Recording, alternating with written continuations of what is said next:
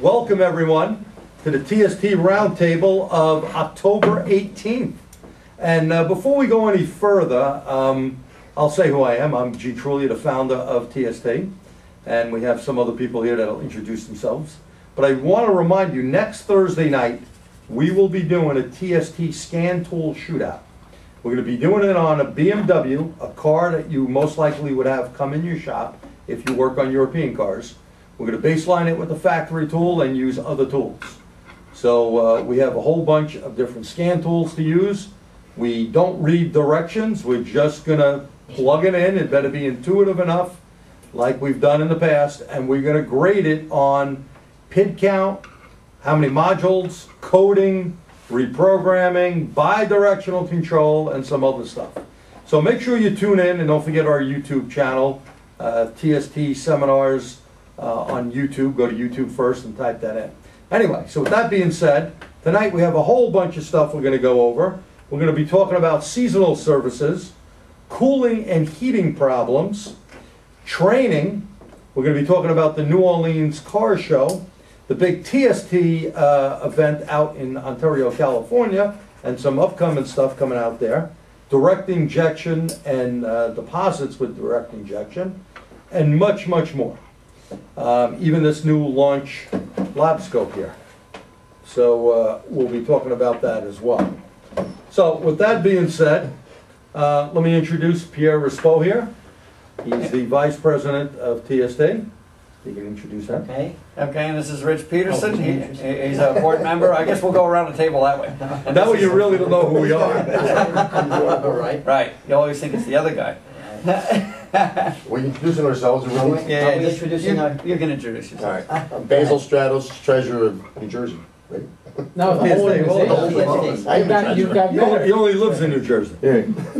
He's here in New York for whatever reason. No. I'm Alex Portillo and I work at Car Clinic. And he's my boss. I'm Craig Portillo. I do not bastardize the pronunciation of my last name. And I'm Bear, uh, associate member of TST. Uh, Eric Dibner, associate as well for TST. And, you know, we should say uh, Craig is the Assistant Technical Editor of PTEN. I'm the full technical editor and regular assistant. Wow. Okay. Oh, really? And by the way, uh, you're looking at some of the guys here. I write, I have an upcoming article. Perhaps you've seen the article uh, in August. And by the way, In Alex Motor is Age. a columnist now for Auto Yes, Service and Pro. Alex, and what's the name of that company? Auto, Auto Service Pro. Auto Service Pro. So read some articles uh, of Alex's articles there. But with that being said, the reason why we say that, we also have a TST column every month in uh, Motor Age. And if you'd like to send information in with your pictures, your name and everything, so you get the credit, we will put you in our TST column in Motor Age, so you'll be published per se. If you suck at writing, that's okay. Uh, we will take your bullet point stuff, we need year, make, model, car, problem, and so on, and we'll make sure we'll put it in there, as well as our TST newsletter. So, uh, any and all help is good. And Knock is behind the camera, Knock, if we have any questions or comments, just please yell them out. Yeah. Okay. So with that being said, let's open this up with, uh, hey Alex, why don't you go first with uh, some cooling and heating problems that Heating you, uh, problems. you came Head across? gasket. No. I had a heating problem. Craig. Heating problem, obviously check for coolant. You don't want to have any leaks. Um, after that, you know, if, if you do have coolant, you want to start the car up and later on, make sure your thermostat's opening at, at, the, at the right time. Well, have you come across a lot of cars that are low on Yes. antifreeze or coolant? Yes, I just had a Honda Civic 2002 1.7. It was low on coolant, no heat. It was the problem was that it had air in it. Air is a big thing. So what do you do in your shop for taking air out? You know, the bleeders on a lot of these cars are They don't, scary some of them, rusted, or some of them don't have them. and some don't have them. And then you gotta burp the hose. Yeah. And they got high and low spots in the system, it's like, you know, whoever Absolutely. figured that plumbing out, It- well, it didn't used- think of gravity. It used to be the radiator was the highest part in the Yeah, system, Not true right? anymore. Used to be. But Yeah. that's not true. So sometimes you gotta really burp them out.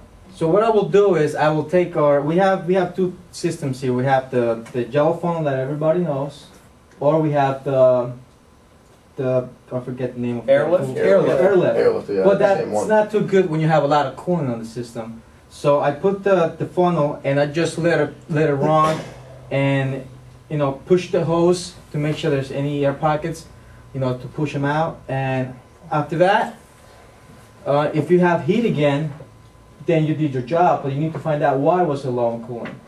Well, this is, this brings up a dangerous game that sometimes you can play. Um, I'm not a big fan of the funnel, especially on these cars. Air pockets don't come up right away. Right. I think a lot of you agree with me. Right. It can be hidden for a while, and we're talking about hundreds of miles. They will not come out. Um, airlift, if you get everything out and you Yes. suction it down, is a way better way of going, but you need your engine coolant or antifreeze pre-mix, the right one, obviously, right, to go in the car and make sure the system is totally sealed. Right. That is, that is the thing to do. Now, the other thing that you have in your shop is, um, from, uh, not Norco, the other Flow company. Dynamics? Flow Dynamics, which is a whole cooling system machine that I've seen you guys use many times when you're doing a complete flush, which puts it into the vacuum automatically Right, and transfers the fluid. Because nowadays, with engines so expensive, an air bubble could cost you a cylinder head or an engine. Yeah. And these are very expensive. Yeah. So inexpensive thing is pretty good as airlift is probably about a hundred dollar tool on the street.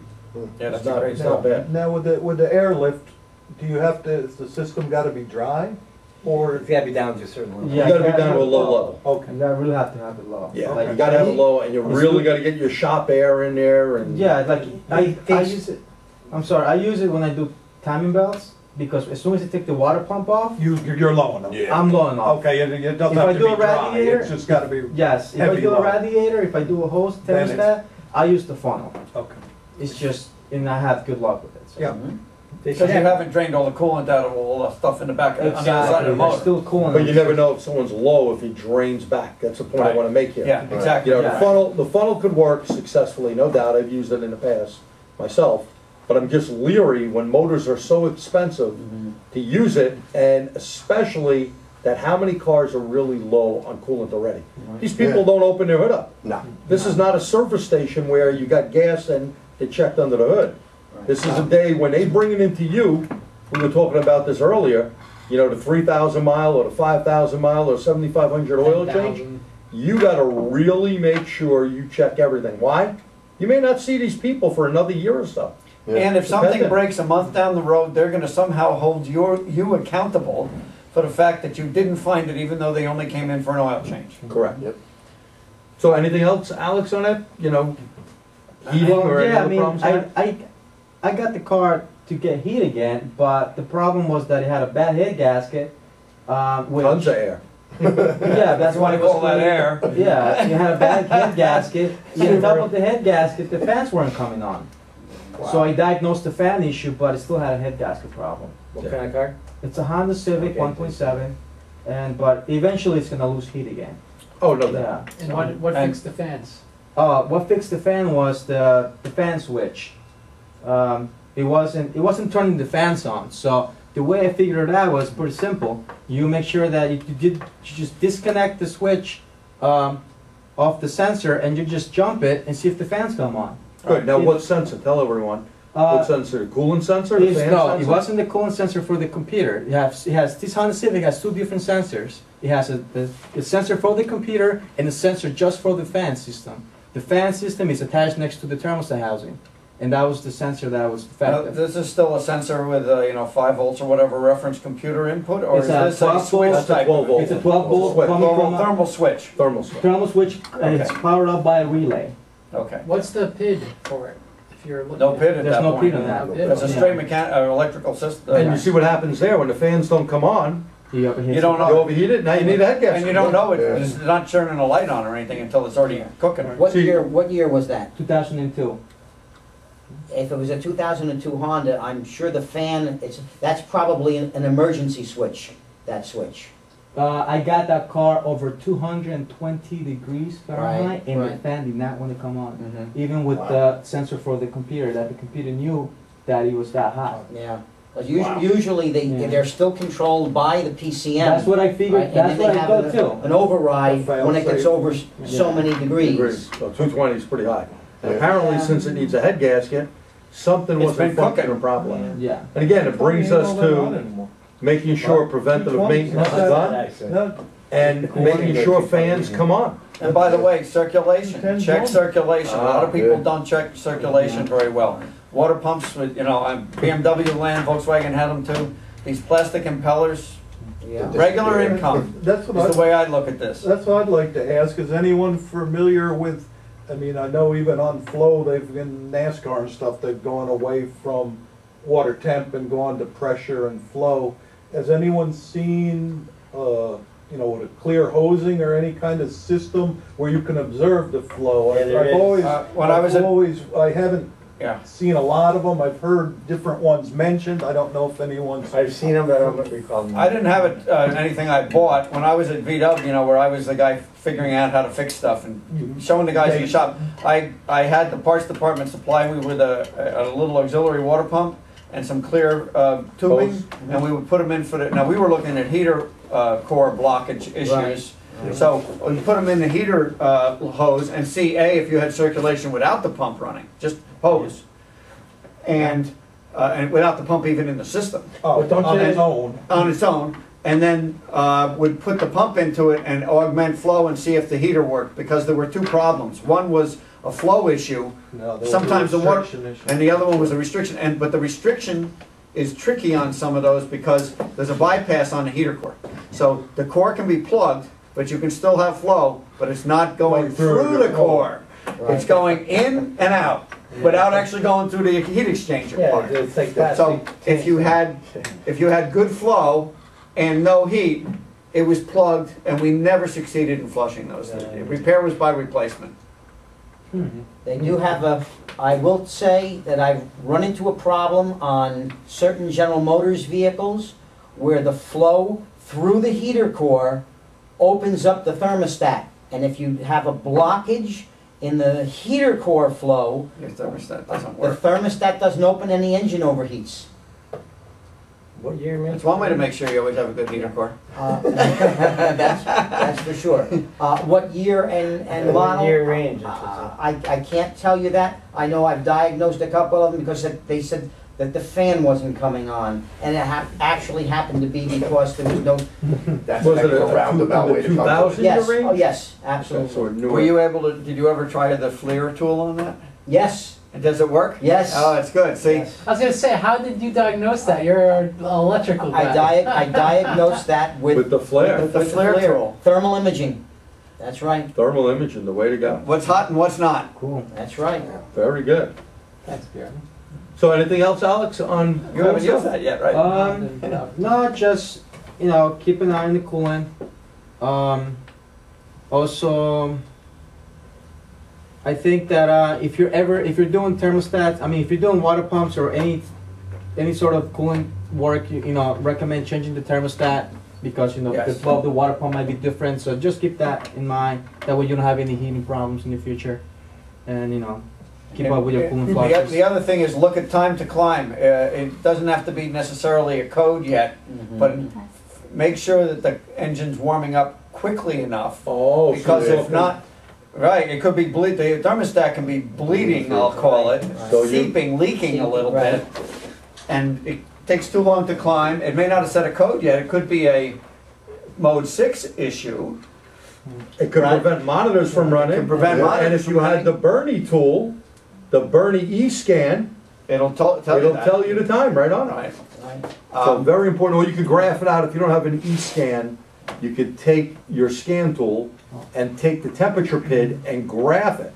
And if it takes too long and you're using the correct thermostat, a one ninety to one ninety-five range, one ninety-two, one ninety-five, then that's the right one for the vehicle. A lot of problems that people have with these thermostats is exactly what Pierre was saying. Now, another, another test, you put a scan tool on it and go down the highway, or you could probably rev it in the bay, but I like to have airflow through the radiator. And the faster you go, the colder it gets, that thermostat's weak. Yes. It's gotta go.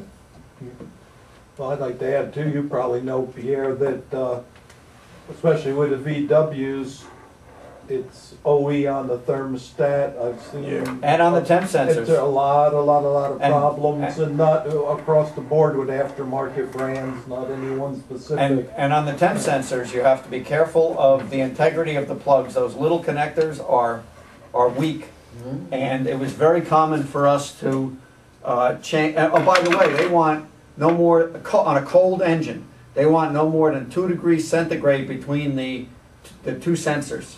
Intake air and. In- Right, in and out air. uh, Some coolant, Toyotas are seven, some cars are ten, some are five.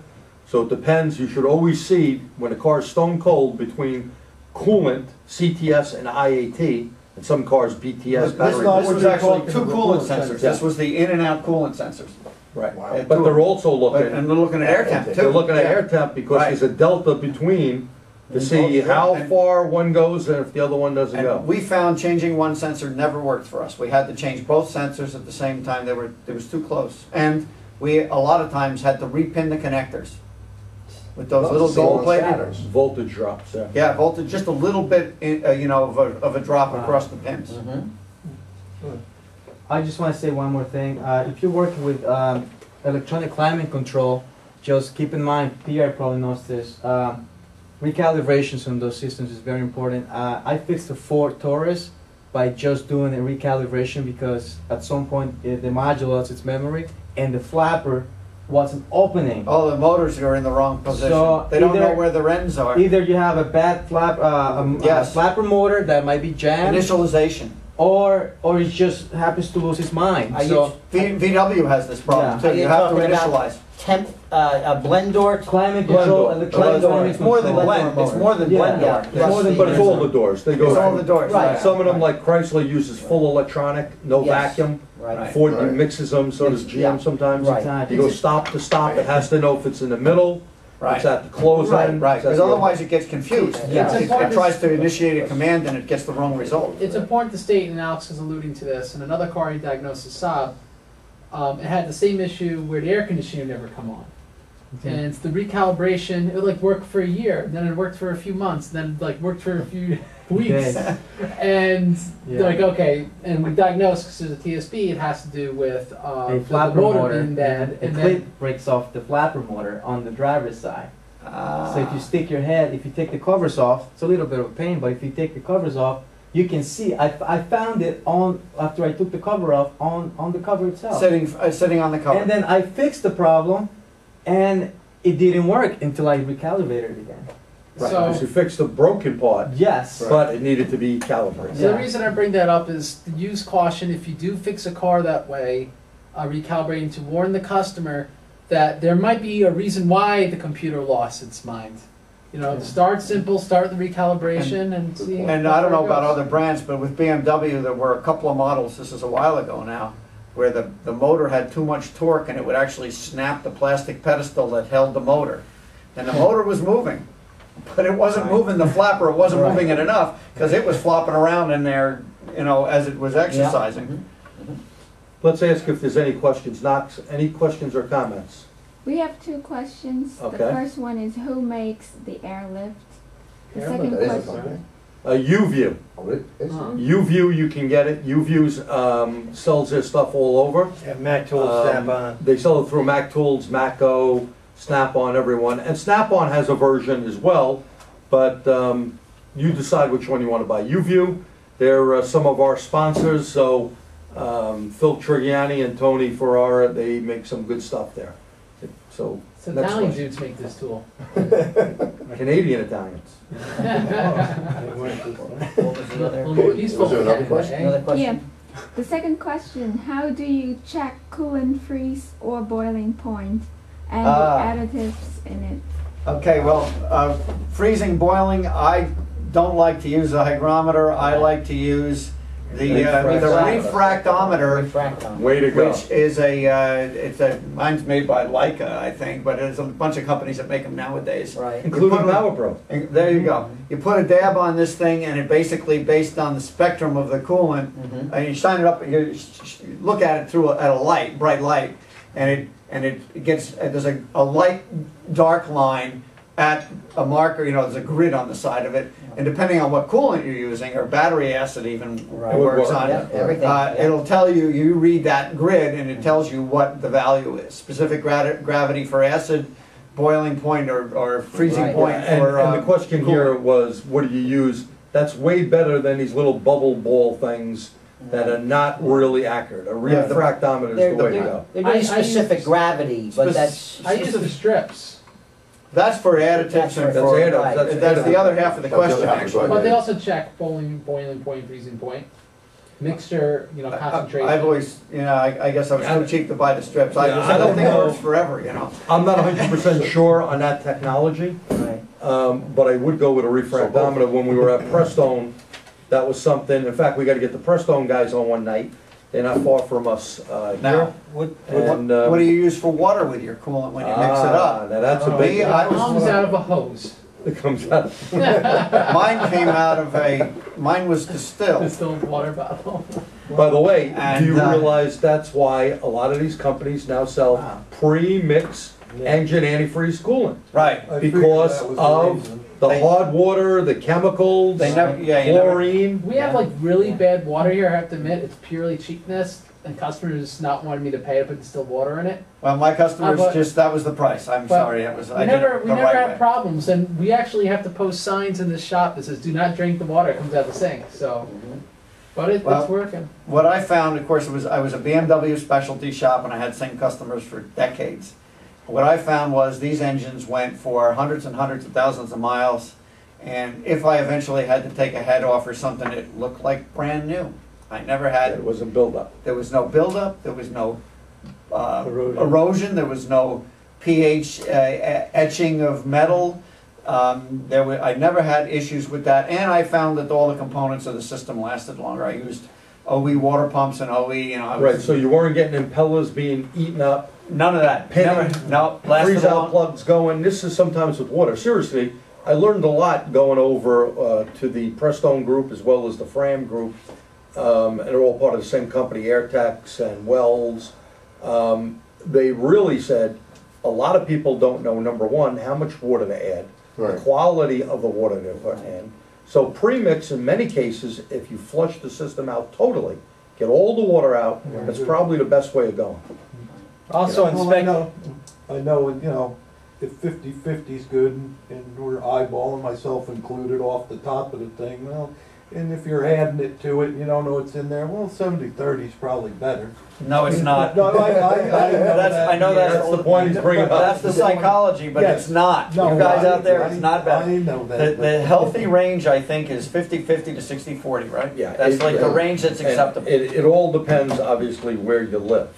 You know, some spots Yeah. need that point a little bit different. Right. Right. inspect your, inspect what you take apart. It it tells you the big story. I mean, if, if you have cavitation marks, you have impeller issues, think about it. Obviously, it can be the water, it can be, uh, a part that went through it, but the cavitation marks are usually hard water. Yeah. And that, and that's a big problem out there, Yeah. It really is. Mhm. Now, are there any questions or comments based on that? No, that's it. Okay, I got something to say real quick. sure. Like what he was saying about the blend doors, I just spent fifteen hours on a 08 Ford F550 Mason dome. Yeah. And all the new Fords, oh, I have pictures, which is gonna be an article.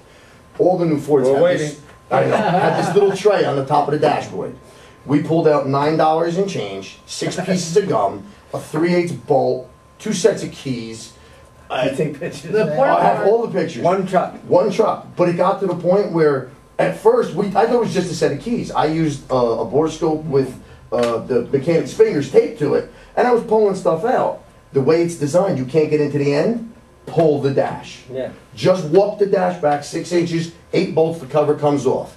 But it was a 15 hour learning process, and the motors actually have a limiting switch on them, so they didn't break, thank God. But Wow. we were still talking a But that's your $1,200 job That's your clue. Just to clean it out. just to clean it out. Yeah. You take- The pile of stuff. That's a common like this problem. They put stuff on the desk, they uh, Oh, all well, slide in When there. it's a construction vehicle, it's not the guy. But they're asking. I mean, if you put a notebook, you're fine. And, but the vent itself, the space between them has gotta be a good inch and why a I half. put pen up. You see To more fit a pen three eighths bolt with a nut on it and just drop right down is unbelievable. Wow. And if they only had a little lip, or even a piece of foam or mesh, that would take care of the problem. Yeah. But every cust, every, every one of us has a customer that's either a landscaper, contractor, or something. Right. Just tell them, don't put anything on the dash, cause the dealer will, no matter what warranty you have, if there's anything in the blend door, warranty's void. Void. And they get fifteen hundred in Jersey to do that job. Wow. It's big.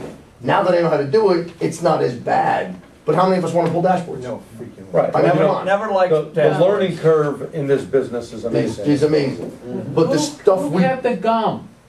It was baked. oh, the stuff, actually Okay. found the, the back end of a pepper too. but I Let's, wasn't uh, gonna say that. let's change up the, uh, I'll show you the pictures later. let's change up the subject and, uh, go to, Knock, maybe you can zoom in a little bit on this? Okay. And by the way, as, when, uh, as Knock is doing that, th- they had this out in California, so we got to play with it a little bit while it was on the, on the table there. And the scope box, brand new, Pretty neat. just came Yeah, out. the scope box is brand new, is out. They also have a sensor simulator we're waiting for, which is really neat. And this is a four-channel scope. So it's a four-channel scope. Uh, they say they're isolated grounds. Metal BNC, I haven't seen that in a while. Everyone's been using plastic. Right. Metal BNC, that's pretty, uh, pretty good. Yeah, should be Connects to rugged. this box here by a USB cable. And you can see the picture, I just took this off the Bernie board behind us. You know, not hard, of course, I didn't read the directions. I just went into it, I could turn channels off and on and all that. Uh, one thing here, the ranges are pretty easy, or to put stuff on and off. It's a nice picture too. Yeah, it's a, it's a pretty nice picture. And by the way, can that has save this, it. And by the way, this, this tool is really the GDS, which is a scan tool and all that. I could put this thing online, so I can go to the internet. I got here Internet Explorer, they have a deal now with ALLDATA, probably the best supplier of aftermarket information out there. I, I happen to really like it. You have uh, oscilloscope, ignition, sensor, and multimeter. Uh, all here, you can do email on it, the whole bit. So it's pretty nice. no moving parts, It's the nice hard setup. drive is solid state. Yeah, it's all solid state. So, you know, I'm not gonna say drop it, but you know, it, it might happen in a shop, right? It's rugged. The, the only question I would have for launch, I like this, but the only thing I find, I wish they had a handle on the other side of it. Yeah. You know, I wish there I was can see two, that. two handles here. I wish the scope box would dock onto the, that thing, so that you're having them all around like this. Um, I'm not sure, I didn't read that part, I think the only way that I know of right now is this gets powered up, and there's the USB here, okay? But it would be nice if they If were If it's snapped together. Dockable. either that or dockable, whatever, but I'm not, I'm not hundred percent sure, they just got this in. So, uh, it's a very neat tool, and by the way, on our scan tool shootout, we will be using the GDS. I really like the, uh, the new update process, I was showing Al, uh, Alex. You're really super easy, just plug it into the internet and you're pretty much done. You got a printer on the bottom of this thing, so it prints out. You got a couple of USBs. A non-color printer. You have, uh, internet connection here and you can put it to a big monitor. If I was running this in a shop, I'd get myself a nice monitor and wherever you wanna buy one, put it on there, and now everything's on your big monitor. They made that for all the trainers in the world, teach people how to use launch. I'll tell you what, I own one of these tools, it's one of the best investments I made. Really good This, this is uh, something that, it does a lot of cars, Or Eric, What? which particular vehicles I are you use it for happy with everything, it? it's so fast. very good on domestics now. Yeah, everything. In fact, when I was speaking to tech support, Sam, he's one of the guys that comes out to Las Vegas, I'll introduce Craig to him, uh, along with Holland and Victor. Um, They really have some neat stuff, and they're really getting up to date on all of the updates. The updates, you can go on every day, they may have an update. Yeah, And it's really easy to do. It's not a hard you setup. hit update button, it updates. You know, before it was a bit of a process. Super hard, and they've made it like what, a one-click thing now? Yeah, One click and it's on, and from here, this is real easy. I mean, you go on your wireless, It's like you the go on. Pegasus, right? It's just one button, And set yeah. on its tool. Yeah, Okay. before it was, you had to pick stuff, it was, Yeah, it was a little you gotta harder. Backtrack. So they got some neat stuff, and if you're interested, you'll see this in the uh, Scan Tool Shootout. We're still waiting from our uh, friends from Autel to send the unit in. Uh, we'd like to put the Autel in the scan tool shootout, because I do get a lot of questions. You have one that we can put in?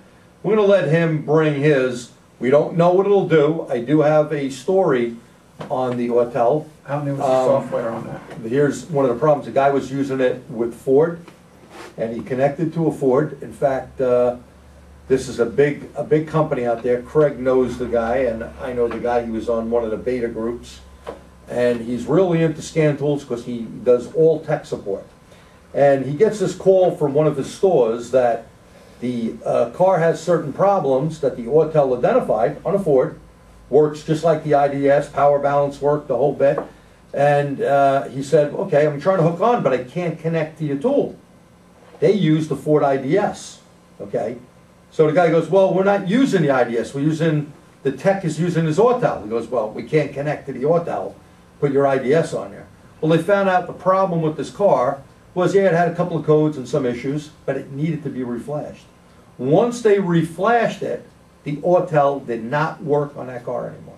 Right. Nothing, couldn't get, couldn't communicate. I've had issues with communication issues. So this is something to be wary of out there. And these guys got a brand new J-Box out, Launch.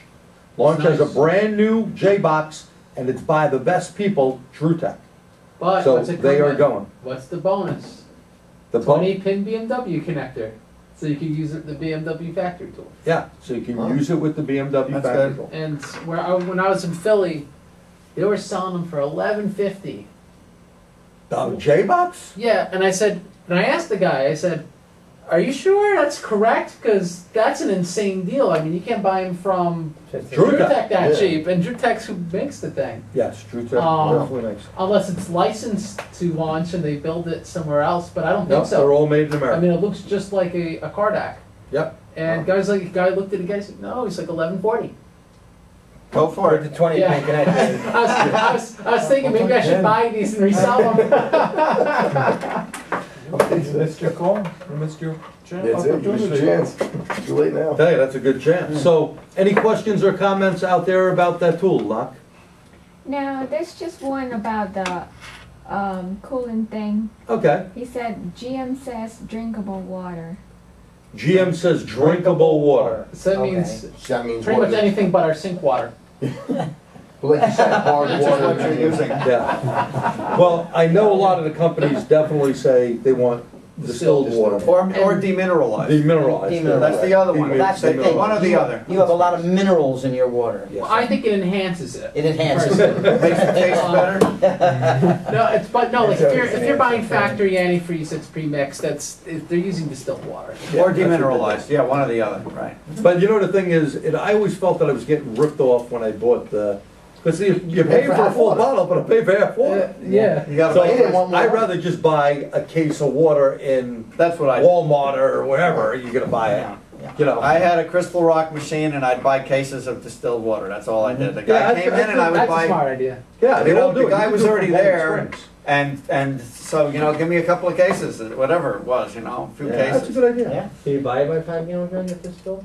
No, they only had it in cases of one gallons, at least Yeah. then, At least you know. What's distilled really made for? For irons? I mean, like you can't drink it. Anything, yeah, uh, sure you can drink it. Yeah, it's just boiled out, then there's no minerals. But no, I mean, isn't it actually? It would be too much water. Couldn't it? Too much water? When I was You're in ninety science, percent class- water. You want, No, you no, want, you but want that's but less? distilled. It's like ninety nine point nine seven percent water.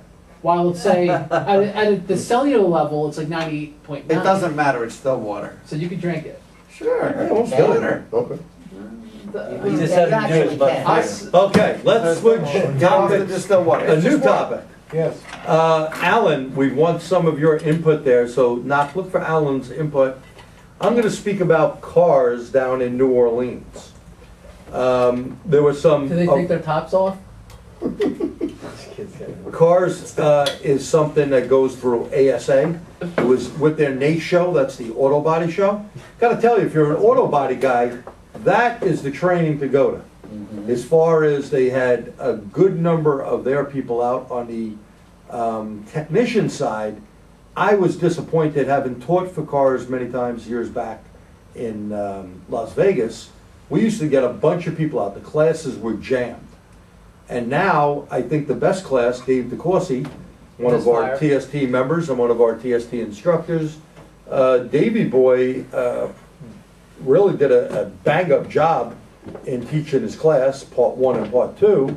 Um, he did a good job and only had, I'd say about 20, 21 people I counted at best. Now, with 21 people, many of these were CarQuest instructors that were down there, because CarQuest is a big supporter of cars, and it's very nice of them. They do this with other automotive shows as well. Um, I was surprised there wasn't more technicians. You're not far from Texas, being in New Orleans. You know, you're not far from Florida. Those are big states that you can get, at least populated states, um, to get more people out and into a class. It's the economy, you know. It's a lot of money. If you're Florida, it's a flight or you're taking A time off drive, from yeah, work, a longie. and you know it's just not the money out there that used to be.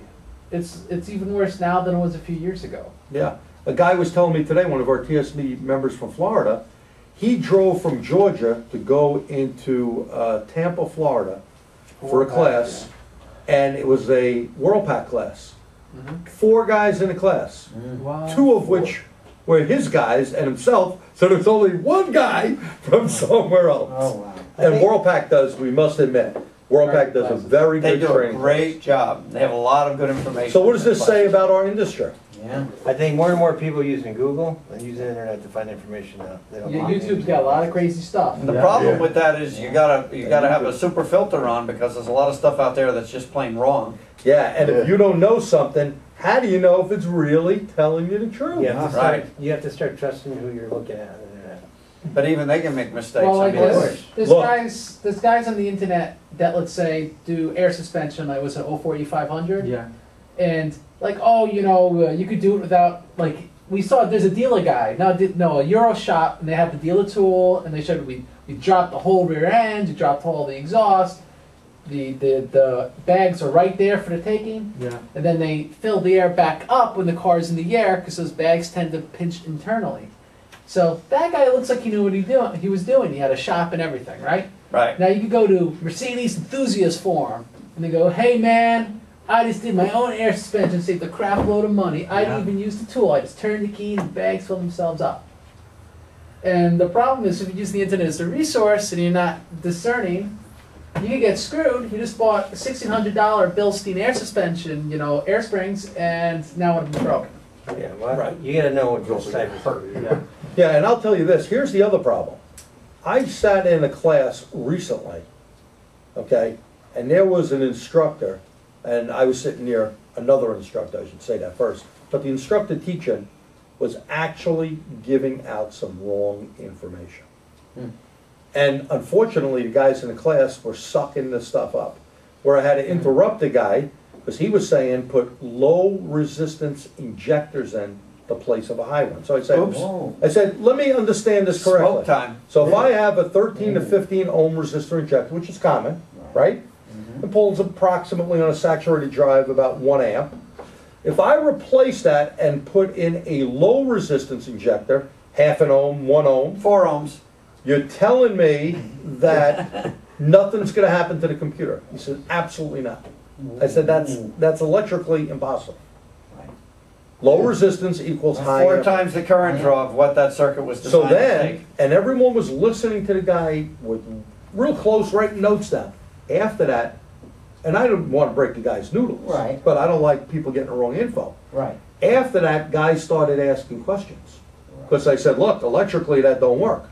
So other stuff he was coming out with, boom, they were hitting with a question, another question. Right. Because some people read shit on the internet, and this is where I think this guy got some info from. You know, they'll go to IATN forums, they'll go to whatever, and some people make classes or articles out of it. And like I said, Yeah. there's good stuff. IATN has a lot of good stuff, same with Identifix. But if you didn't work on the car and you're coming up with a bunch of crap, and you don't trouble. know really what you're saying, this can influence all of us to go, hey, this guy's a great instructor. And we'd, and we'd make me- mistakes. By the and way, I'll make didn't a you have bad some mistake. aftermarket thing that you used to put in for bad drivers? That would work in a case like that, right? Wasn't there something that Yeah, could handle yeah. higher loads? Yeah, but it, it only handles up to, uh, most drivers will handle one amp, one amp. Right. This only handles two. Oh, so two- it still wouldn't handle Yeah. a four amp, Right. uh, Oh, yeah, four ohm. uh, Well, it's just a jack- bad thing to do. Not On motor that. swaps, Absolutely. on Hondas, Mitsubishis, Chrysler, Fords, You gotta be careful. when they had the two different injectors and different motors Right, right. with different computers and stuff, you burnt those computers out. Right. I've seen it many Is times. the peak amperage of an injector though much higher than 1.2 amps? But If you have a four ohm injector, absolutely. Yeah, well, Yes. yeah. So- If it's, if it's a, a driver made for that injector, and that is momentarily. Yeah, So so, in a, less than Right. two, less than a millisecond, it'll actually do it. so maybe you could get lucky in a way, because it's the lower resistance one is gonna be. It won't You're happen, never getting lucky. not on that. Eventually, You will eventually you it's will gonna burn it cause a out. problem. And it probably won't be before like very, you know, like a week or two. Because I don't know, he, like, he walked to a shop in New Jersey, you know, a week before, and that you saw guys do it and they got away with it, and that's how he got the idea, you know? Wow, that's, it- New Jersey's got a lot of crazy I stuff. tell you, you gotta watch The only out. way they got away with it was because they had a voltage drop on the feed side. They didn't There you have go. enough Right. voltage to start with. Right, because Get electrical, my words. They got away with it because they had two problems. when, when we, Cancel each other when we out. go back to the old days of click, click, click, hearing the carburetors click, the CCC systems, uh, General Motors learned a big lesson with stuff like that. The low resistance from those solenoids that they had, making that go up and down into the jets, that's what really was burning out their computers, Mhm. okay? Nothing has really changed because they do limit those drivers. You know, we're not talking about a diesel. Diesel is very different. When you see, you know, danger, hundred twenty volts or hundred volts, whatever, that computer is totally different. Direct injection, a little bit different, okay? But we're talking the majority of cars that this guy was going on. And that's not the only thing that I've heard. I- I'm sure we've all sat in classes and said, did that guy say? Oh, sure. And I'm not saying I don't make mistakes. Sometimes I catch it and go, oh, the, the mouth engaged before the brain. Especially if he That's hasn't a slept mistake. in three weeks, Okay. a common problem. That, uh, that will be something that is, you know, and I like when people say, hey, you sure? Question, that'll- right, yeah, you have to think about When you it. think about it, You know, one of the most common things, and I've seen this on IATN in a lot of places, and Rich, I'm sure, hears it every day. People get their Ohm's law backwards, Oh, sure. and, uh, you know, they think a short circuit is a broken wire, or a broken wire is a short circuit, or that, you know, the bottom line is low ohms, low resistance, a direct connection is high current draw. Right. Simply put, Absolutely. And high resistance is, or poor connections, poor connections, or corrosion. is a, is a lower current draw. It's a high resistance and a lower current draw. voltage If drop. it's blowing a fuse, it's high current draw, it's a short. It's no voltage drop at that point. There's Short no- circuit. It's a Short short. circuit. Short Right. circuit. Right. Okay, with that in mind, uh, let us remind you to go to YouTube and type in TST seminars and type in voltage drop. You can see that, or uh, PCM We did a inputs and on right? outputs to see the complete videos we've done on that to help you out. They're absolutely free. Um, we will be throwing some new short clips up. Rich, the ones we did, Right. uh, they're not compatible with YouTube, so I gotta Okay, redo okay, them. we have to do some new ones. So we gotta do new Okay. ones. So youtube.com slash TST seminars. Yep. Uh, knock, any other comments or questions? Anything there from Alan? Mm, Not from Alan. All right. From anyone? Alan, stop ignoring us. Hey, Alan, are you sleeping on me? Maybe he's fishing. You sure he's there?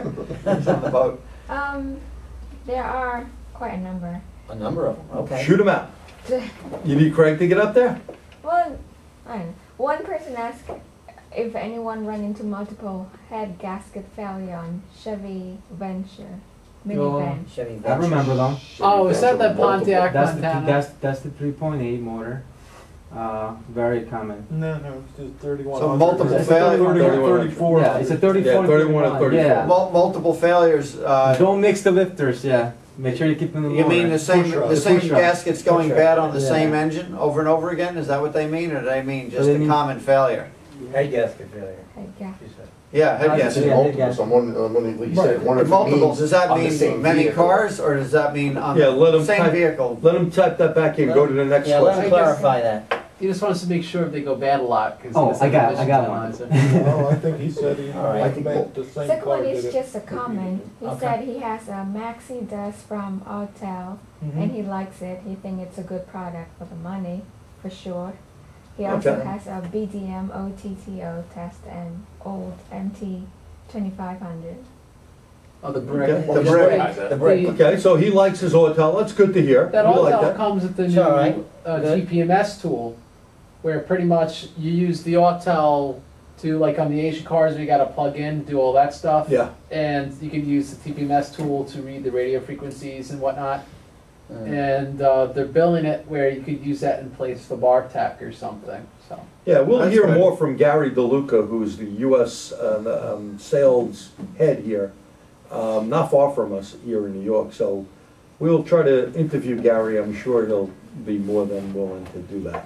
When we do the BMW scan tool shootout, I guess we'll have yours here, right, so we'll, we'll Any find other out. questions? Not, just keep reading them, because we want to get them. Um, I don't know if it's a. Uh, he Uh, just. let's uh, skip it. Okay. Yeah, if someone curses at us, we gotta skip it. No. Not saying you guys did. Uh, yeah.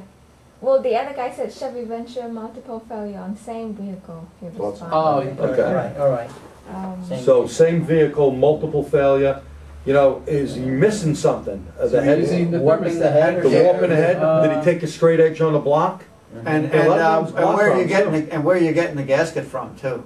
Uh, I used to love like a Felpro, Either good that- gasket. Yeah, Either that or maybe one of the water Velcro. jacket plugs is, is Well, something yeah, clogged or clogged in the something, water in a water Yeah. jacket or something like that. bad water pumped. Yeah, it sounds like something else is going Or how about if the bolts are stretched and he's not getting a good torque on them? That, that I too, used to Loctite every bolt, that just like from the Or, factory. yeah, or the That head might bolts be, uh, being reused. might They don't- they don't use that. bolts. They don't use torque to yield on those? To the might previous shop, have- to I see Scotch-Brite, the. Yes, don't use Scotch. Now, by the way, using the little whizzer wheel, that's a big It's a problem. no-no. That's You a won't no-no. even know you took something off that surface, Yeah. and that head gasket is not Every, gonna go. by the way, every manufacturer at this point says, don't use any of those abrasive products when you're doing these surfaces for two reasons. One is what he just talked about, which is making imperfections you don't even know you made, Can't so even it tell. can't seal. Right. And secondly, they leave pieces in the motor. And if it ends up in the cooling system, it's probably not as bad as if it ends up in the lubrication system. Mhm. Little grindy grind. Oh, it'll cut it up.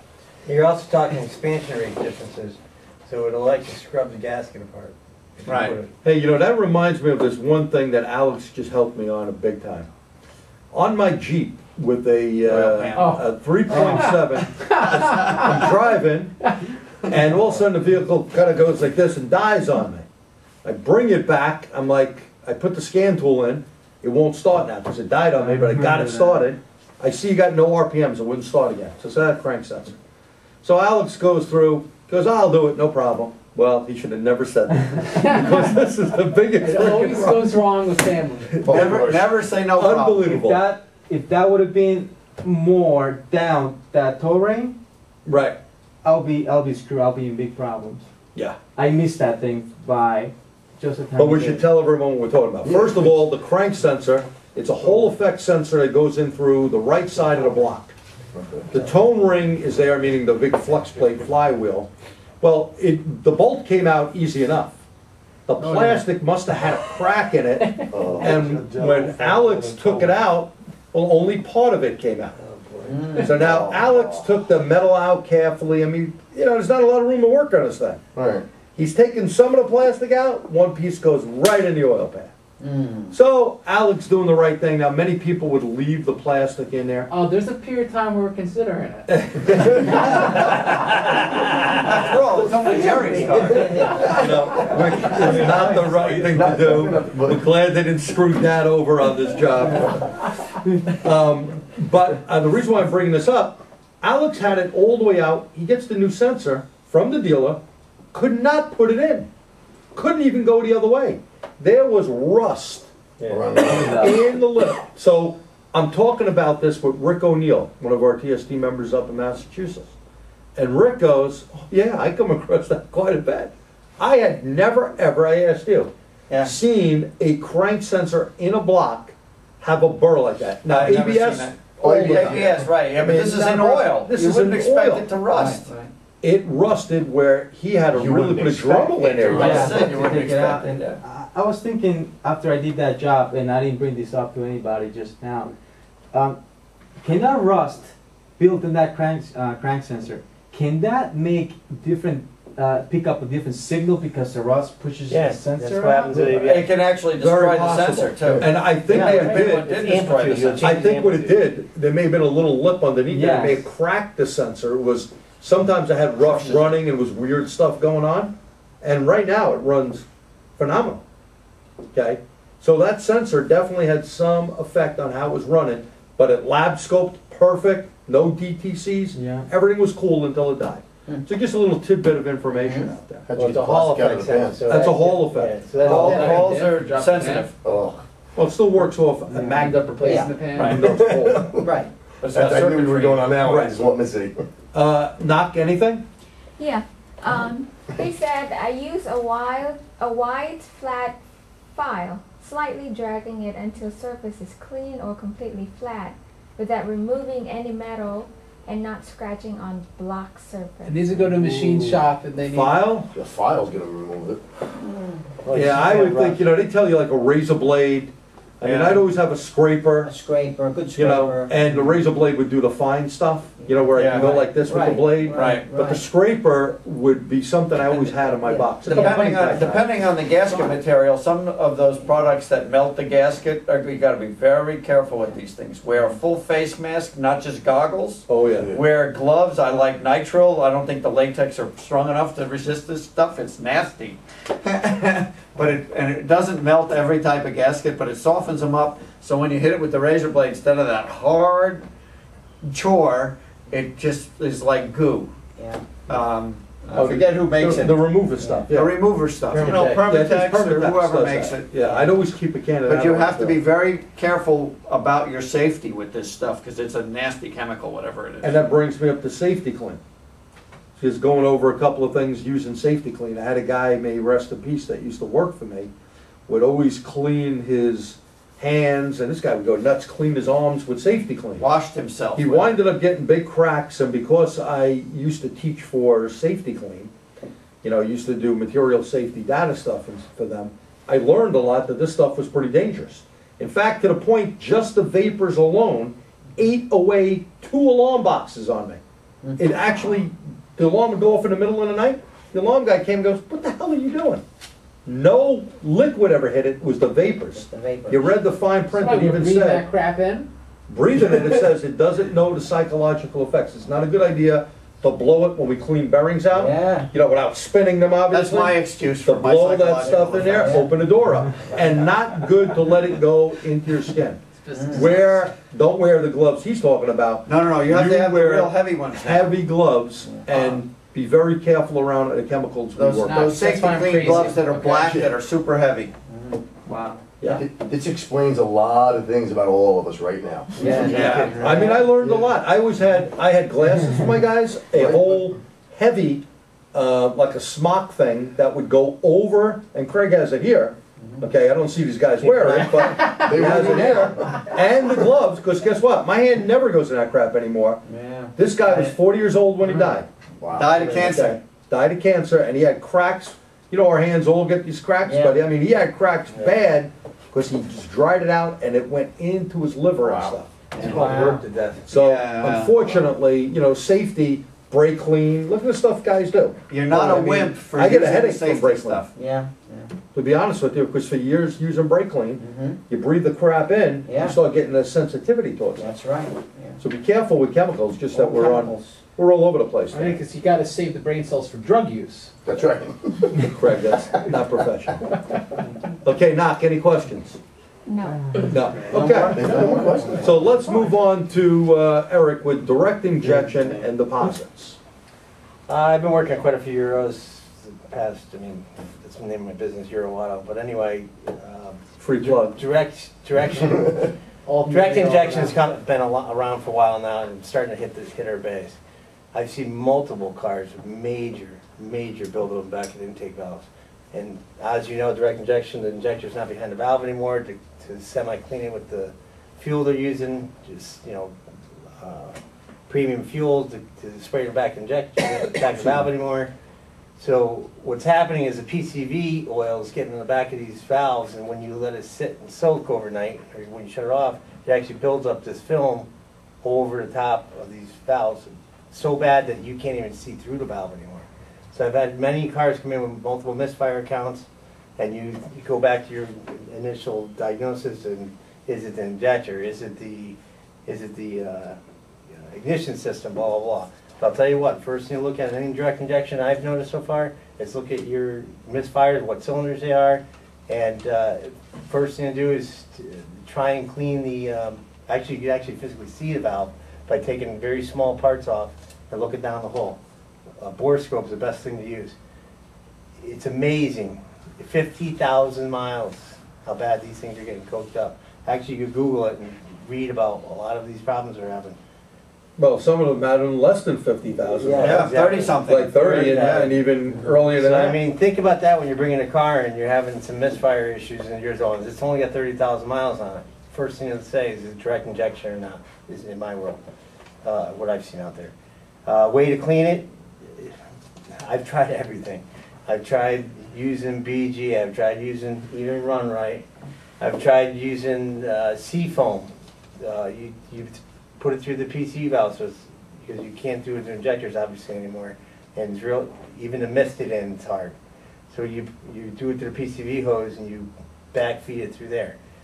I've tried five, six times on vehicles. It- It's just not good enough to get them, get them clean. You actually literally gotta get the intake up a little bit, close the valves, soak them overnight. They make a kit, you could actually uh, scrub the back of the valves off through The, BG. the BG kit, right? Yeah, which is no more than looks like chopsticks, small chopsticks, and uh, I swear to God, and uh, cotton cotton swabs. Uh, and So how are you doing this? Removing what? Make Glove- the intake you manifold. have intake manifold, close the valves off. You do a certain amount, amount of valves at a time. You let them soak for about a period amount of time. I let them sit overnight. I've actually used carburetor cleaner. Pour it right down the valves, or right down the intake Soak it. fill it right to the top, so you don't have a leak down issue with your valves, and, uh, and clean them that way. And you get a hundred Yeah, percent but you the wonder what that does to the seals after a while. Um, I haven't had a problem yet, I've done it to probably five, six, car- seven cars so We far. were doing a lot of them at Volkswagen. By the way, we had to change quite a few intake manifolds because the variable runner flappers would Yeah, also, would also be coked up, but it, it would snap the rod in the middle and you'd have any number from You had one to that. three of them that were, You had that. It was, you know, half of them were working and half of them weren't or whatever, they were broken. Um, and, uh, we found that, um, we were using a, uh, which worked very well, a Mopar intake cleaner spray and, um, Tech rat. uh, wooden, no, no, no, but this was for an, this was a different stuff, it was a foamy, it was probably like sea foam. Yeah. And, um, it was a Mopar part number.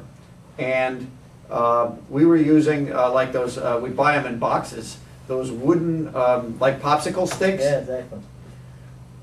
And you, and this stuff is not hard like a deposit, uh, from the old fashioned gasoline with old regular injectors. This is Walnut porous, is, is spongy, soft, Gooey, nasty, gooey stuff. So. Very hard to get out. So when you're looking at mis, when you're seeing misfires, it's usually when they're cold, because it's absorbing, well, It's a the air- sponge. Yeah, it's actually, you're getting too much fuel to air, because you're actually taking away air to the motor. It's probably, Is there a way to preemptively, is there a way to preemptively stop this? Like, have you experimented Dude, you gotta that? clean it, that's the only printer. One my- or, oil. The quality of oil you're putting into the Very important. Because the and- quality of oil is, is a cleaner as well, they put cleaners in the oil. And your PCV system. Yes. And PCV. but the other thing is, uh, when I, and I haven't been there in a while now, but, take every fifteen time? 20. One of our last one of my last conversations with one of the tech reps from Volkswagen was they were changing the way they were going to do the PCV system and they were going to put a very active uh, cyclone filter in the PCV system to get everything particulate vapor and everything out of the air that went through the PCV. Only air was supposed to go through and it was supposed to return it all to the oil pan but I don't I don't think they actually had it in production Now, yet. I've actually seen when I pull these PCV hoses off, It's the the next mist level. that comes out of that hose is unreal. Oh, Yeah, yeah. fog. Well, you know, you ever look inside even a regular gasoline, uh, regular injection motor or carbureted, the amount of hydrocarbon vapors that float around and the mist from the oil and stuff, and this is what makes tons of carbon deposits. So now with the- direct injection, you got a worse problem. There's nothing going in washing under it. higher Right. pressure, there's nothing washing the valves down. Not only, not only It's doing this, it's floating like Christmas time Yeah. all over the valves. not only that, you also have your EGR flow coming through there.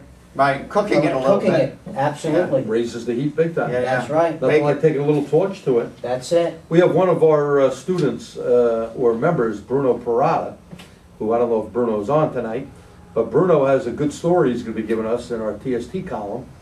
Uh, He has a Mercedes-Benz that the EGR system was super clogged up.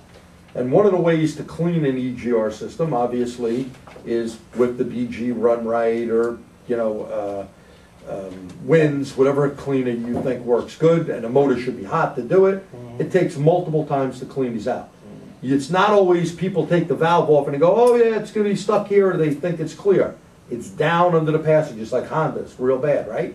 Well, some of the things that work well, and, you know, no one wants to put this in print, although this was in Motor Magazine years back as well, is taking a torch to the carbon. And if you heat the carbon up, and you gotta be real careful, obviously, you should have checked under the hood of the car for any hydrocarbon vapors, because it's a real bomb that could happen, right? Don't wash it with gasoline first. Not a good idea. But once you heat carbon up, if you're real good with a torch and it's safe under there to do it, again, precautions big time. You heat it up, once it gets hot, you shut off the acetylene, you just leave the oxygen, you will hear a big and it'll blow out all the EGR carbon in the passages. It's burning it. So Bruno started to do this, but he was getting a little nervous because I scared him. Hmm. I said, Bruno, look, you know, under a Mercedes, it's a little tight under there. It's not like some of the Hondas and some of the GMs, they're right up top, there's a lot of air and there's, you, you know, you can actually see where you got your torch. Hmm. I said, I'd be super careful so nothing happens. Bruno came up with something to save his customer big money and still allow the EGR system to work and keeps the light off. So he's be, he'll be writing an article on this. And again, any of you guys, you know, there's, there's tips out there that technicians have helped make tools, help things with cars. Remember the old uh-huh. heater cores that would take you, God knows how long, I'm talking way back in the sixties, where you had to take the fenders off. You had to do a whole bunch of stuff, but if you were smart, you made yourself a little trap door, right? You went in there, you took the whole heater core out, then you just pop riveted the thing back, sprayed the, the undercoating under there, and you were done. It saved a lot of time. The customer motors. didn't know any Oh, yeah. better. Heater cores, blow motors, they weren't accessible, That's right? right, that's right. And how Fuel about pumps on the old Trans How about the spark plugs? in the back. Come spark on, plugs that you look it. couldn't get out because the fenders were there and the engine was in with a shoe on? We had a whole bunch of different tools we'd make. There was an old Porsche 914 6, you had to drop the motor out of it to change the spark plugs. Remember that car? Yeah, and how about direct injection back then, mechanical direct injection, um, or mechanical injection, not direct injection, that some of the injectors wouldn't come out on the Volkswagens, the Audis, the Mercedes, even the metal tool they gave you to pull them out, remember those? Yeah, You couldn't get some out, you had to use the slide hammer right. to pop them out, so Those were money makers. those were money. Those were, yeah, you made a lot of money. A lot of money, those Bring them out there. But anyway, let's see what you have to say, and uh, we'll go on for another ten minutes or so, and then we'll call it a wrap for tonight. So Knock, do we have any other comments? I have one question. Does that apply to Audis as well? Yes, Yes, absolutely. yeah. Yeah, Audi, Volkswagen. Same technology, really. Uh, and it's slight- Ford, Ford, Okay, Ford's using, Focus is using them, there's a lot, multiple cars that are using direct Yeah, injection. direct BMW injection, is my, my Cadillac direct has it, my CTS has Yeah, it. Almost everything else coming. Little by little, all the manufacturers are going to direct injection because it allows them to run leaner mixtures and, High uh, and, yeah. and a very high pressure. The atomization's better, they get better fuel mileage.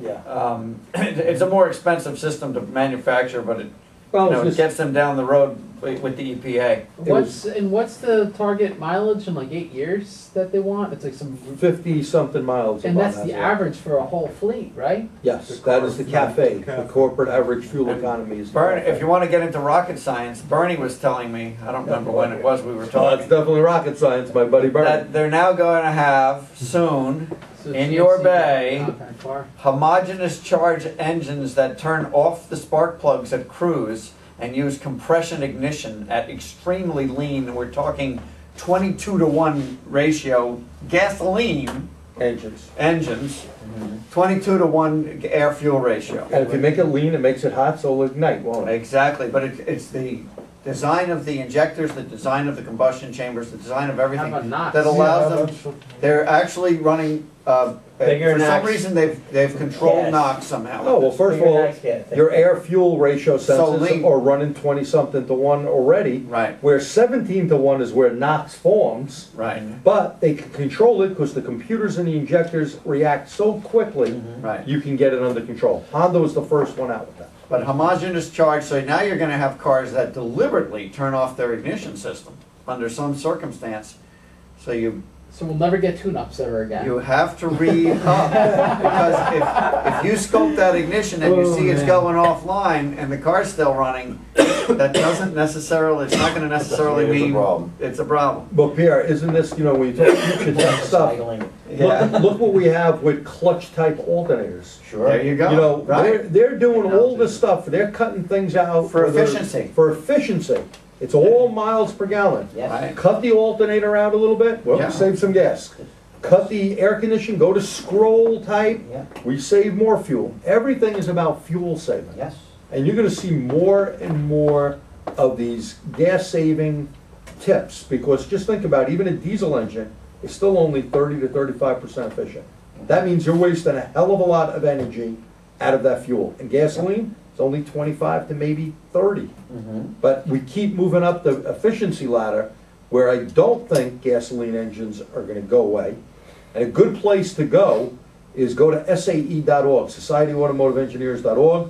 Head out to lovely Detroit, and those Detroit Tigers beat our, Yeah, beat our Yankees Yankees. tonight. But anyway, so head out to Detroit in April to the SAE Congress, and you can learn way more about future stuff that's gonna affect you on these cars. Direct injection, we looked at years ago.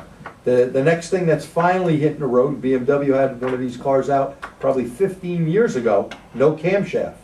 You're gonna go through all valves that are electrically controlled, especially now that battery technology is so much better. And by the way, another company just went bankrupt with government funds, A123, which was, uh, which is out of That was a Massachusetts. battery manufacturer, You right? bet, Those lithium steak ion sauce batteries. manufacturer. Oh, boy, they were big. A123 had went big, bankrupt? had big investors, they're in bankruptcy right now, big investors like GE, government, uh, President Obama gave them some big money, as well as some of the other ones uh, that were out there, but these guys went bankrupt, they were gonna be sold to a Chinese company. All that technology would have gone over to China until some uh, congressmen, uh, I believe Republicans, not to be political, but this is what I read in the paper. Uh, Some congressmen and maybe a couple of senators as well, and I'm sure there was a couple of smart Democrats in there, said, we are not taking government-funded stuff and selling it over there. Because battery technology You only like this nuclear technology. is, correct. Battery technology like A123, uh, Johnson Controls is gonna buy it up, and Johnson Controls, American company, that uh, hopefully this technology uh, will be around. The problem is, why they went bankrupt, and in all fairness, you know, even though there was government loans, they thought electric cars were really gonna take a big hit. People are still leery. You know, you get into a, a Nissan Leaf that I drove many times, there's no way in hell you're gonna get hundred miles on one electric charge, there's no gas engine. Uh, GM is coming out with their little Sonic, I think it's called, which A123 batteries blew up and some people got hurt. That was another problem, because lithium batteries, just like the Sony laptop batteries that went on fire and blew up, the technology is still in its, in its infancy compared to where they'll be five years from now. But, that being said, I have a Chevy Volt that has a gas engine and this six hundred pound lithium ion battery, and it gets hundred and twenty-seven miles a It gallon. keeps growing every time he talks about it. It's on my car, it's on my phone, I got proof. Speaking about scary technology that's going to take us out of business, um, I just read a, pl- a press release that for police cars, for uh, police Harleys, police, you know, Crown Vics and stuff, Ambulance. lifetime rotors, where they make a thin layer of metal that's on the outside that's so hard Mhm. that under no no extreme temperature where it's going to wear, Hmm. that you'll never have to replace the rotor. And then how are they gonna stop the car?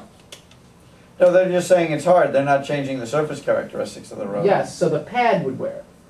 Now, But the they're part gonna that go through scares pads me every is, seven days. So they can slap and drive. But, maybe. but See no, that, Craig? hundred twenty-seven miles a gallon? no, Oh, you ain't lying, no, you ain't lying, it's right there on the phone. Right on my phone. Now, anyhow, I noticed that the OE brake pads, like, you know, we had, was it a twenty eleven Toyota Ca- Camry, it had fifty thousand miles, pads were like fifty percent. You know, we had a two thousand eight Chevy Express, um, its rotors warped before the pads were at sixty percent. Common. But they didn't say those police water rotors wouldn't And- warp, they just said they wouldn't wear. So, Good no, point.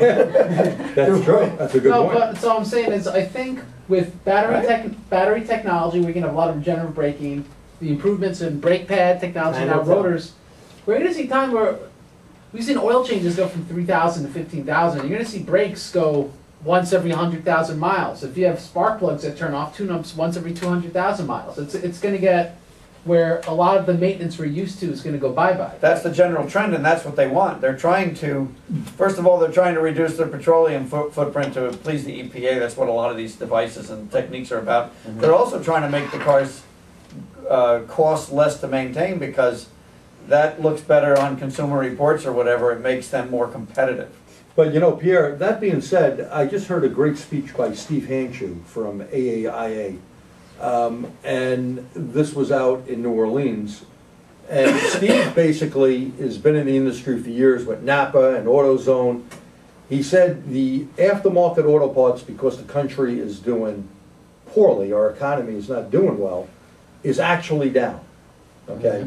So we're, we're on a deep sleep, uh, s- s- slope of decline for auto parts because they're not being changed as much. Why? First of all, the price of gas. You know, here we're four something a gallon. We're not like uh, our Jersey friends here in the threes. You know, we're about four twenty, four twenty-five a gallon. It's a lot of money for gas. And that's the point where it starts to hurt. Three fifty-five for regular. It it starts to hurt people, right? So now you have that. Still cheaper than You- walking and. You have people that are unemployed, so what's happening there? They're not driving as much. Overall miles are down. So what does this mean? When a car comes in, and we were discussing this before we went on camera, when a car comes in, you got that one chance maybe to see this car in six months or a year. This is not the three thousand mile oil change days anymore. They're five seventy-five and fifteen thousand, like Craig said, okay? Cadillac was begging me to bring my CTS in, because they do all the service for free. It's not free, I, you actually pay for it. Yeah. You don't know you're paying for it, just like BMW. In It's the all- price of the car, It's car. a gimmick, why? They wanna try to get cars back in. You know who pays Now- for it? Us. Now, that being said, seriously, now that being said, one of the things, I gave you the gloom. You know where it's not the doom and it's the moneymaker? Is doing the preventative stuff, like Eric said. You gotta be cleaning these things, you gotta sell your customer in the brake flush. Brake fluid is still hydroscopic, these people that never change the brake fluid, cause only. Very bad. Only Honda and maybe BMW and a couple of companies actually recommend it. The rest of them it's advisory. You gotta sell it. The aftermarket technician now needs to be like the big box store. What do I mean by the big box store? You gotta turn into a Sears, a AutoZone, a, uh, um, Sell parts field onion? well, you gotta, you gotta, you gotta sell, Craig, stop being stupid. You gotta sell services, that's where there's money. Yeah, You gotta look at air filters, you gotta sell them cabin air filters, you gotta sell them things that can clean out the mold in their system. And you These are gotta the pre, things. you gotta look at the car and tell people when things are coming up, because people like to be informed about stuff before it kicks them in the butt. So And you're and if you saying, give them that service, then you become more valuable to them than the other guy. so you're saying print out the thirty to sixty to ninety, All of that. I was always a moneymaker. My spiel with my customers was, you know, I was a specialist with my BMW shop. I'd say, this is the schedule according to BMW. They want your car to last six years or a hundred thousand miles and they want to crush it. This is my schedule. I want your car to last hundreds and hundreds of thousands of miles, but you're gonna have to do these things to make that so. Which one do you want to do? Your Okay. choice. So I gotta leave. We'll see you next week. Okay. All right, Thanks, you guys. Yeah. Thank you. Thanks for coming out, Eric. Oh, yeah. Don't forget your jacket if you had one or Cameras. something, Sweatshirt. and your cameras and stuff. Yeah, where- So the bottom line is, that's the way to sell it. And you know, I'll, I'll be honest, I had customers who said, if the light's not on, I'm not gonna do it. Well, I can't win that war.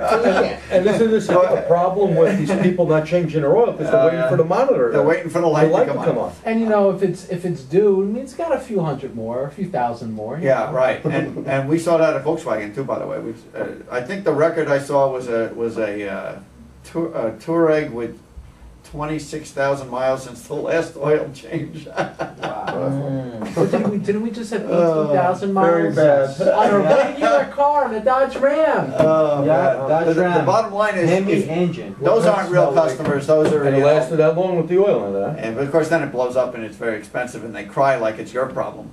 Um, They then- don't blow up enough. And the bottom line is, um, the good customers, the ones who want reliability and wanna go the distance, will understand that logic. Right. Well, let's finish up with one last thing, and that is the right to repair. How do you feel about it? What happened up in the state of Massachusetts and NASTF, National Automotive Task Force? It's unenforceable in Massachusetts. What's the state of Massachusetts gonna do to force scan tool companies to? Well, I'm not sure, but when you start getting a piece of legislation, first of all, NASTF having served on the board, headed the training committee, co-chaired it, uh, still involved, and was just asked today to do more stuff, uh, on the, the NASTF board. I believe we have, from the OEs, good information that they provided to us, free if you're Hyundai Kia, very reasonable if you're Toyota and GM and stuff, scan tools that you can purchase, information I can readily get, not only for the emission-related system, But how the law was written, for everything. Mm-hmm. I am just fearful that, you know, states are gonna be making a law because technicians out there are not aware of really what they have already. We don't need the government to give us more rules and regulations that only waste money and waste time. They can't run what they have already. Just looking at our, our economy, look at the stupid laws we have. We don't need more laws to keep this thing just perpetuating into more litigation, because that's what'll happen. What we need is really something that these companies have stepped up to the plate, Toyota being the first one, and give us the information at either a reasonable fee, okay, or free. And I think if we're not careful, and this is everyone's responsibility, to make sure you tell people in your family and stuff, that unlike Massachusetts where all the parts stores came out and manufacturers and said, sign this petition, right to repair is good for you. First of all, what they're doing is taking a company like GM or Toyota or Ford or BMW that spend millions upon millions in research Billions. billions actually, thank you, Pierre, to develop something, and then they're gonna release their blueprints to someone or give the information away for free. That is not a good business model. We couldn't stay in business if we gave our services away for free. Okay? So we need to be on the, the thick and skinny here and on the same page and be behind NASTF and not be behind this right for repair. So if you hear someone that, I noticed some noise here in New York State, I'm sure there's in New Jersey and the rest of the country.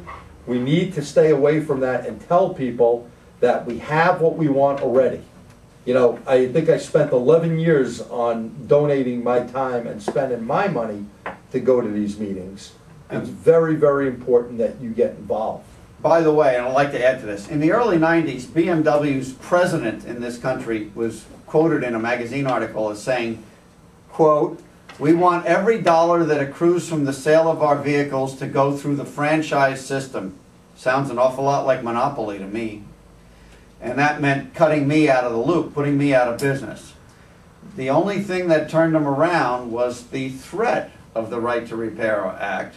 However, Here's the problem. Back then, the Right to Repair Act meant uh, selling, not giving away, selling all the technical information at a reasonable price. What this Right to Repair Act, same name, different act, does is it forces the manufacturers, like Jerry said, to release all the technical information to their competition, the other manufacturers, aftermarket. It's not gonna help us at all. I think these manufacturers, that law only applies to the EPA, to emissions. What's gonna happen is all the manufacturers are gonna climb into their shells, And we'll get nothing. and we'll get nothing. Think of the days, Pierre, when Cheryl Edelman, Yeah? when I first got And on Holly- the SPS board, and Holly Puglisi got Pierre, okay, so they were, it was the information, they weren't in order. Right. But you got the information from BMW, one of the first guys in the country, Right, to get that information, right. okay? Of course, at first they put it on a CD and they had stuck it in a blender first, so you needed to take your whole life to Pierre had a whole list of what was on each CD, some five series here, this year there, but he did it, and, and now it's nice and easy. We Yeah, get what we it's all need. there. And by the way, you know, I don't know about other brands, but you go on the BMW website, they decided it was not worth their money to separate the EPA stuff from everything else. And you go on the website for thirty dollars a day or whatever it is, and you get everything, everything. That's great. Just like Toyota, you know, GM fifty-five dollars for three days. How can you go wrong? Get the factory scan tool. You use a, a mongoose cable or a, a J-box from DrewTech. You hook up to these cars with the scan tool. This is getting better and better, but this is gonna stop if the Right to Re- Repair Act goes through in more states. This is gonna be a major problem. So please read up on it. Get behind NASTF. Go to nastf.org. You can go to my website, ATTS or TSTseminars.org, and guess what? You can link right there to NASTF. It's something very, very important. Now, let's see if we have any more questions, and we got like a couple of minutes left. Not really questions, but Comments, anything? Alan just got to us. Um, he has a long list. of- Oh, That's my no. buddy Alan. Craig, get up there and read it. I just have. Alan, you write us a story every Why are time. there Professional two tonight, right would you, repair Greg? acts that have the same name if they're two They, totally it, different it, it things? morphed. The, uh, It the was. history of that was, there was a senator, I forgot his name, from Wisconsin or Minnesota, Yeah, Wisconsin, I it think, was right? Wisconsin. He, he initiated the original act in the Senate, there was some other congressman who had it in, in Congress at the time, well, he got Wellstone, was that something? It was Wellstone. Okay. And he got killed in a plane crash during his campaign. And the, the, the name of the act kept going, but every session they reintroduce a bill. They introduce a bill, they give it the same name, it's not the same wording. But Now it's being supported by these businesses who Right. have their own agenda, and it's not our agenda, it's against us, really. Well, yeah, my Against the point is that because it's got the same name, it's actually confusing a lot of people. Absolutely, and, Well, and thing it is, you sounds can't like be it's good. It. That, but It sounds see- good, a right to repair, I mean, you're right, right, right to repair, right? Exactly. And knowing ah. that, knowing that there's already the one that we agree with and the one that now we The one that we agree with hasn't been out there Well, for a remember, long time. you know, Right. It's So not- that's, I'm just. Eleven trying- plus Okay. years ago, we actually had something in our TST newsletter about the right to repair. We thought at the point it was not a bad idea. But that was but the old one. That was That the was the old old one, one. and NASTF did not even exist back then. Right. So it was a big difference. Craig, you wanna get on with Alan's? Yeah, first, uh, Alan is gonna be, have the last word, because he is a movie star now. Oh, that's right, Alan, Alan is on a PTEN thing. I congratulated him. Can I have an autograph? He uh, is very famous. He's in print, he's on the internet, and he's in a blog type thing or Yeah, uh, like a podcast. podcast, that's But it. his, his Um, toolbox. is a So picture of Alan, you owe me some crawfish Um, and some magazine. catfish. There's some other guy's pictures of his toolbox in some magazine. That's me in the back. So first, uh, lay off Craig, he's very handsome and nice. That- Alan, we know you're lying. Craig's reading something different. He starts off with this. I purchased the Early Bird Super Pass. I attended nine classes for two hundred fifty dollars. That's good price. Very good. Which would cost nine hundred dollars, so I paid for each class individually. Dave DeCourcy had a great two-part class on misfires that was very informative. Other classes were on J25 for replashing. I'm sure he meant reflashing. Yes, J twenty-five thirty-four. Thirty-four. yeah. And new vehicle technology. All the instructors are very good, except one, which I won't mention his name. But TST is familiar with him. He knows the info, but doesn't know how to present it to the students. I'll tell you later, I was lying. One new thing I heard about is tin whiskers. I thought this was a joke, but apparently it is not. It is from solder without lead. Is this becoming a real problem on PC boards? Yes, Uh, Pierre says yes. So there We you had go. a big problem on ABS controllers. That was a- part of the reason for all those failures, starting Early whenever yeah. they, early on, whenever they got rid of the solder at the beginning, and, and it still continues to a lesser degree today. These whiskers actually seem to grow like magic and cause short circuits. Eddie Bridge. Um, Yeah, they bridge. in the middle of these comments, Simon Montequiza says, "Back off, New Jersey." Watching Montequita. We don't mean Buddy here either. And uh, Alan continues, the expo had good attendance, but many of the classrooms were less than half full, and some only had 10 people. It's kind of like Connecticut TST. Huh? Most instructors were CarQuest, and they were very informative. Maybe it was not advertised properly. I only found out because of CarQuest. So CarQuest was the big guys bringing guys out to it. Also, I think there's a headwind there. Cars has been so body industry uh, oriented that it gets dismissed by a lot of people in the re- in the you know mechanical repair industry. And the other problem was they cut down, uh, quite a few years back, a three-hour, four-hour seminar to one hour, one and a half hour. What are you gonna learn in one and a half hour? They had a few of them this time as well. One and a half hours. They go, didn't they learn anything from the criticism on IATN? What else did he have to say? Uh, and that, that is it. Alan's story ended. Okay, well, I want to tell everyone, uh, thank you. We'll see you next Thursday night. It seems like we're always doing something.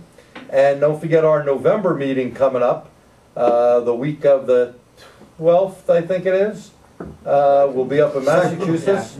I think it's Second week. the, I think Second week. it starts the sixth. I think. No, no, no, it's the week after. The, the I think, I think it is the 12th. It's the second. Uh, The Yeah. second, Go on the website second and look. full week Right. in. Whatever uh, that date is. the We'll all have to go on the website. It's on We're gonna- website. we're gonna It's fill on it our out. website. None of Monday us is have it in front of. Massachusetts, Tuesday's Connecticut, Wednesday's New Jersey, and Thursday's in New York. And all over the world, thanks Uh, to on the internet. webcast on Thursday. correct. simulcast. So thank you for your time. Our guest, by the way, Alan, you may want to check this guy out. Our guest speaker is Peter, Peter Orlando, Orlando. who does a very good job. By the way, he's from New Jersey, but we don't mind that, Montequisa. We're holding together. Thanks again. Good night. right. Good night, guys.